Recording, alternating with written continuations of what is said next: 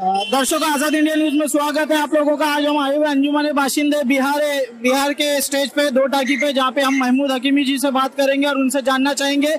कि आज जो ईद मिलाद के मौके पर इन्होंने जो स्टेज वगैरह लगाया है तो ये अवाम को आज इस मुबारक दिन के मौके पे क्या मैसेज देंगे? सबसे पहले तो हम अल्लाह ताला का के बेहद शुक्रगुजार है कि तीन साल के बाद फिर हम लोग सरकार दो आलम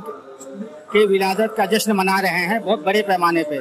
और पूरे बम्बई नहीं, बल्कि पूरे हिंदुस्तान, पूरी दुनिया के अंदर एक जश्न का माहौल है, खुशी का माहौल है। और हर आदमी अपने तौर पे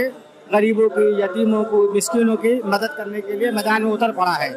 और हम लोगों से अपील भी करेंगे कि आज के दिन वो लोग जितने ज़्यादा से ज़्यादा हो सके, वो गरीबों को, यतीमों की, मिस्किनों की मदद करें। और यही अज़्म लेकर आज अंजुमन बाशिंदगा ने बिहार, मुंबई सड़कों पर उतरी है। और दो टाकी जैसे जंक्शन पे, नागपाड़ा जंक्शन पे हमने बड़े पैमाने पे स्टेज बनाया है और यहाँ से आशिकान रसूल, जो लोग इस जुलूस में शरीक हुए हैं लाखों की तादाद में, उनके लिए खाने का इंतज़ाम, नाश्ते का इंतज़ाम, पानी का इंतज़ाम सब बड़े पैमाने पे किया गया है और मुसलसल तकसीम किया जा रहा है शाम के वक्त से ही, अल्हम्दुलिल्लाह। सर, आप जिस तरीके से इतने बड़े पैमाने पे काम कर रहे हो तो आपको ऐसा लगता है कि आज मुसलमानों का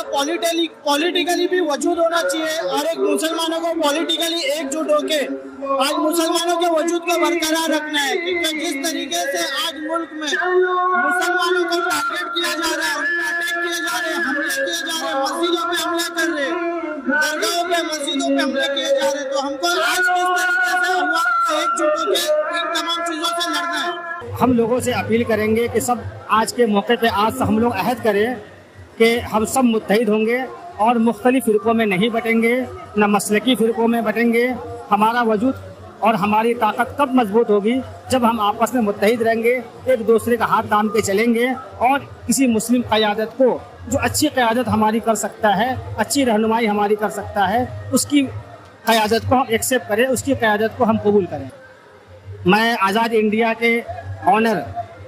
का भी शुक्रिया अदा करता हूँ कि इतनी रश में लाखों का मजमा है, उसके अंदर फिर भी आप जो है तगदो करके, मेहनत करके सरकार आलम अलैहि वसल्लम के इस जुलूस को आप कवरेज दे रहे हैं और असल मेहनत और खुलूस के साथ आपकी टीम और आप कर रहे हैं, उसके लिए हम लोग सब आपके बेहद शुक्रगुजार हैं। आज़ाद इंडिया न्यूज़ से बात करने के लिए बहुत बहुत शुक्रिया। Thank you so much